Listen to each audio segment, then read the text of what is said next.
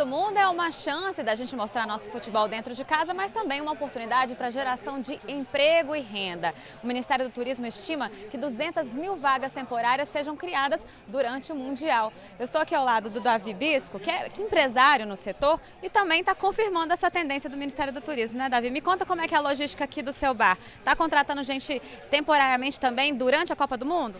É, na verdade, nosso efetivo é em torno de seis funcionários e agora, durante a Copa, a gente aumentou para 10. Para atender realmente essa demanda, esse fluxo de turista que cresceu muito na comunidade, a gente tentou fazer de modo que desse tudo certo. Agora é uma oportunidade para você que aumenta seu faturamento, oportunidade também para essas pessoas que conseguem um emprego durante a Copa do Mundo, não é isso? É legal, porque indiretamente tem outras pessoas envolvidas também, mãe, filho, eh, marido, enfim. Isso é uma forma de gerar renda dentro da casa dessas pessoas que são moradores da comunidade.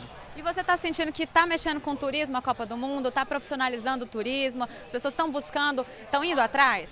É, na verdade, o turismo no Rio de Janeiro ele vem crescendo de uma maneira realmente muito forte. A gente vê é, é, explicitamente isso na favela. A favela hoje passa em torno de 200, 300 turistas aí por baixo por dia. Então, assim, isso aí realmente é uma valorização muito grande. Eu acho que se a gente realmente se adaptar ao sistema e fazer de modo que a gente possa atender esse público, pode ser interessante na geração de renda dentro da favela.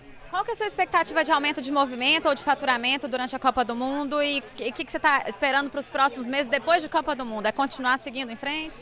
É, eu acredito que o faturamento deva crescer em torno de 50%, 60% e a gente vai realmente focar nisso aí, tender, tentar realmente obter lucros em cima disso aí. Perfeito. Davi Bispo, empresário, dono do Bar do Davi, né? leva, leva o seu nome. E agora vamos continuar com a Copa do Mundo gerando mais emprego e renda. Do Rio de Janeiro, Isabela Azevedo na Copa das Copas.